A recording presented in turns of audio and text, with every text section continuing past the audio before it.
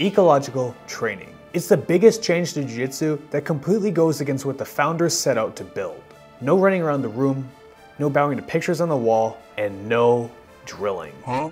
I first heard about this when I found a fellow YouTuber's video about when he went to Greg Souders' gym. And I gotta say, it piqued my interest. But in the background, I found a familiar gym owner, Hayden, who happened to own a gym near me, and guess what? He completely believes in this approach and right away, I started getting my ass whooped with this new training. Hayden had the class set up into games, and with these games, he gave you clear constraints and guidelines on what you were supposed to do, but ultimately, he left it up to you on how you want to proceed. And work to destabilize the top person. Your job is to destabilize them to their hands or to their hips. You're not allowed to come up, allowed to finish This game was interesting because you had to pass standing, but it stinks for me because it's an easy entry onto the legs. However, one of his constraints is that he's not allowed to submit me, so finally I can practice some leg locks without having my knee explode. I already can feel the benefits of ecological training because I get to go in different positions and try new attacks instead of just being a complacent dummy. But then I start backtracking that thought when I'm stuck in a fully locked in submission and he's not allowed to tap me. How much do I really learn from this if I'm gonna be stuck the entire round? I did make sure to ask him that later, so stay tuned for the interview. Three hours later, I was finally able to escape and got some revenge with an ankle lock, fully knowing he couldn't submit me, but I could do it to him. The training, constraints, and setups were starting to make some more sense to me. This training was opening my mind on new possibilities that I could attack from or defend from, which became the main focus of the next game, where they started with a limb, but you weren't allowed to submit until you could at least secure a triangle. Now before I show some more great footage of me, I want you guys to know that I partnered up with DraftKings before UFC 300. I've been a huge fan of all physical sports and been watching MMA since the Pride era. With the crazy card coming this April, DraftKings Sportsbooks will bring you closer to the action. Any new customers that sign up with code Tyler Spangler will get $150 in bonus bets if you bet at least $5. Now I've used betting sites before, but DraftKings makes it so much easier with a convenient interface and clear payouts, especially on their mobile app. And while you definitely should do your own research, I already have my choices made for the card, including picks like Kayla Harrison being brand new to the UFC, beating Holly Holm, and Justin Gaethje crushing Max Holloway. However, if you're confident and want a shot at bigger payout, you can use $150 in bonus bets for same game parlays, combine multiple bets, and choose how the fighter will win. If sports betting is not yet available in your state, don't worry, you can still join in on all the fun with DraftKings Daily Fantasy and have a shot to win cash prizes. Download the DraftKings Sportsbook app now. New customers use promo code Spangler and bet just $5 on any wager and get $150 in bonus bets instantly. Getting back to the action, I'm now stuck on bottom after I just submitted Hayden with a triangle, and I'm forced to try and fight him off without him getting a triangle locked up on me. This game sets up the expectation that you need to have more control before going for attacks. We all know we've been in that position where we've had an armbar and completely lost it, so creating a triangle is a great backup option. And if you haven't picked up a pattern yet, control is the name of the game, especially in this third one. My job as the top person is to work to put the bottom person on their back clear their feet, deny connections from the bottom person with their feet and their hands as best I can. Get as close to them as I can. I cannot go chest to chest or double knees down. So we were revisiting the first game, except for this time, the bottom guy could actually win by working up or sweeping, and the top guy was just looking for control. Now I could go back to my bread and butter of just wrestling up. Then I could treat Hayden like my younger brother, never allowing him a win, but I still got to work my control the entire time. That's payback for holding me in the knee bar.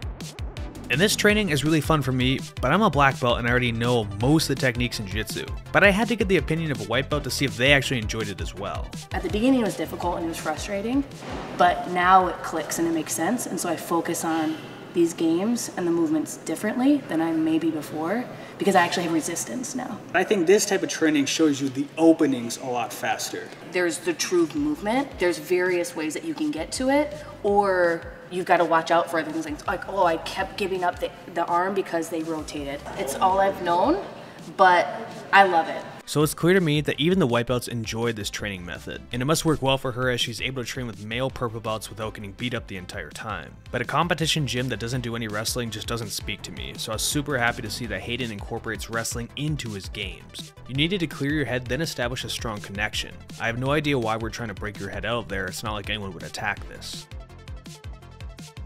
Then for the second game, we already had the single leg, but we had to try and finish it. And this round had a lot more intensity.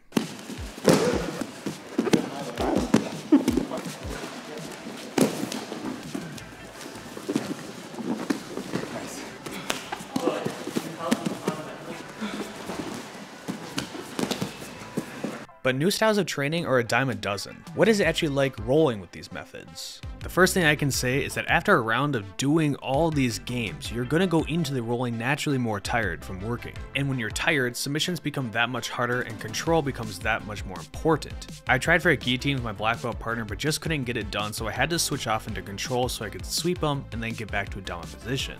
I naturally like body locks and chest to chest control, but something in the back of my head said I had to change it up so I could follow Hayden's methods. So I lifted one of my feet up to try and work that tripod camping, but instead this just gave him an easy entry into single leg X. My partner Kaiser understood the assignment of trying to destabilize me and put my hands on the mat, and I would have loved to have kept my weight on top of him, but my heel was in danger so I had to give it up.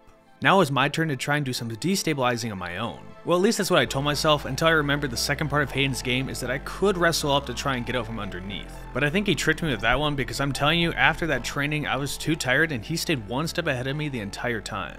And I didn't realize this, but I guess I ordered a backpack from Kazakhstan because he was on my back for the longest amount of time. However, if you invest in my back escape strategies, by holding onto the heel and driving it up, I'm almost always able to escape, even if they're slamming a choke onto me. At this point, I'm slamming my weight into him and holding him with a body lock, but I'm still working on perfecting this new passing system so I'm not quite able to get it done to him, and I just jump for a guillotine, completely forgetting my arms are gassed. He does a nice job to block it with his shoulder, but I do manage to get my hand in. Maybe next time I'll actually be able to finish this one. Great job by him, but I had to go with the final boss to see if this training actually worked, and I started off in style knowing he wanted to clear the head. I got the takedown part of training all figured out, and I'm applying the same ideas from the games into trying to pass his half guard by staying high on my feet while pressuring him forward, looking for hip connection. My golden rule in trying to destroy their connections is to be driving forward with your head. It's the strongest wedge you have between you and your opponent. But I break my own rule going for another guillotine and working against the fundamentals Hayden was trying to show. This then gives him the opportunity to strip my arm off the back of his head and I can't get my head back to where it was before. Then he has another opportunity to start diving in my leg and destabilize me, putting me to my hip just like in the games earlier.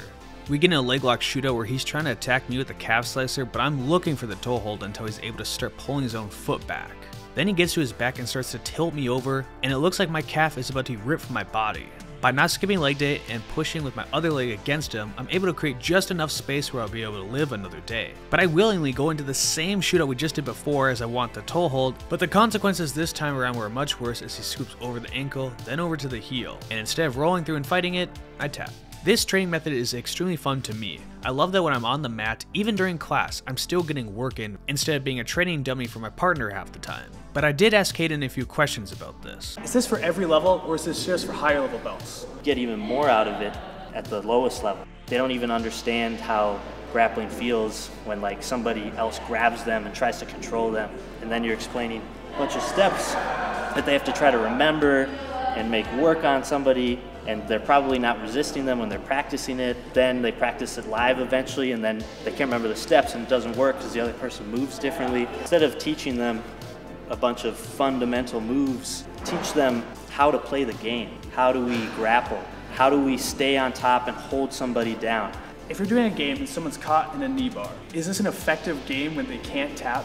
Yes, if they were allowed to submit, they would just get the tap right away, but they wouldn't develop that control from that submission. Now, Hayden could talk on this training for hours, but I'm already sold. You're not going to be seeing me going to do any more drilling unless I'm absolutely forced to. I instantly can feel this is a much better use of my mat time, and I think you will as well.